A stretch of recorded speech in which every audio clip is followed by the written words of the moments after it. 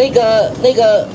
桃园市长啊，郑文灿啊，为什么他在这一次的这个打压的事件的过程里面非常重要嘞？二零一六年的时候，华航发生了非常多的劳资争议，当时好桃园市政府的劳工局长还啊非常勇敢的在媒体上面说，华航不要在桃园市嚣张，结果现在华航在桃园市嚣不嚣张？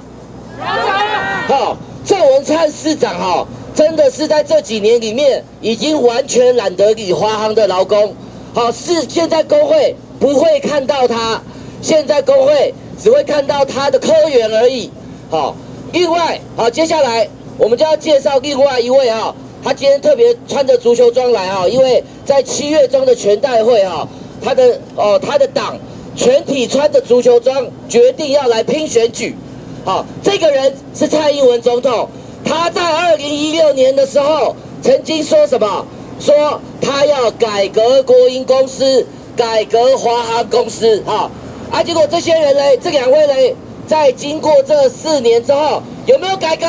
没有。他们在做的事情是什么啊？我们就请这两位哈，到我们的工会干部旁边哈。他们在做的事情，就是要把这些工会干部怎么样？一个一个压下来，对不对？一个一个压下来，坐到地上去，对不对？啊啊！开记者会的，啊，叫他们压下来，啊，然后认为治安上面有问题的，好，要他们一个一个好坐下来，乖乖的坐在人评会里面，不要在外面说他们应该要为会员争取的权益，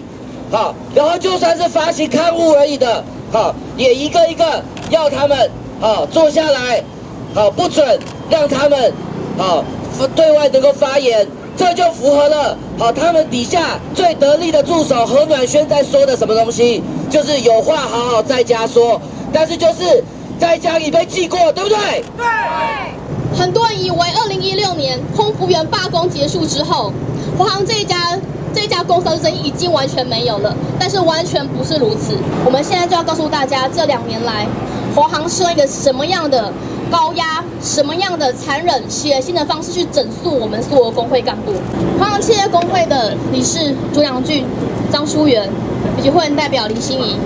在罢工结束一年周年的那个记者会活动上面，不过就是主持记者会、发表工会言论以及演行动剧，华航却据此要去做进行惩处，惩处不但是惩处，而且在每一次评议会上，用一种极尽羞辱的方式，逼他去说出到底是谁给你薪水的，到底你是哪家公司的员工，用这种方式去羞辱我们工会干部，逼他一定要说出是华航给我薪水的，完全去罔顾今天他不是这个员工，他同时也是工会的干部，他必须要站在工会的立场，帮所有的会员争取权益。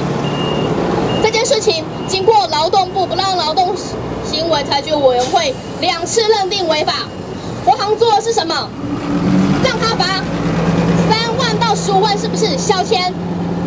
对我一家营业额上千亿的公司来说，九牛一毛。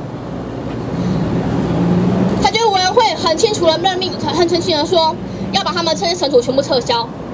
华航完全置之不理。罢工后的两周年。我站在现在，我只要拿起麦克风，其实我是发抖的，因为我曾经因为拿麦克风被公司惩处一大过两小过，至今我在每一次的记者会前，我都没有办法睡好觉。如果工会干部如此，那我们身后的会员，我们的脸书时刻要被监控。我们只要发表任何一点资方不满意、不想听的言论，我们就要心理准备被约谈。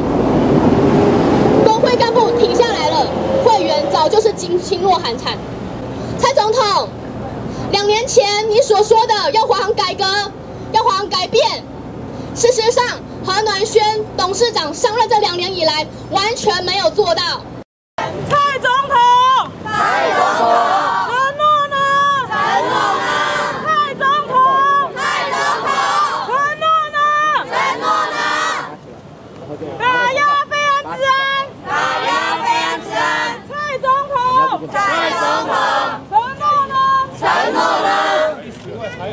还有一位对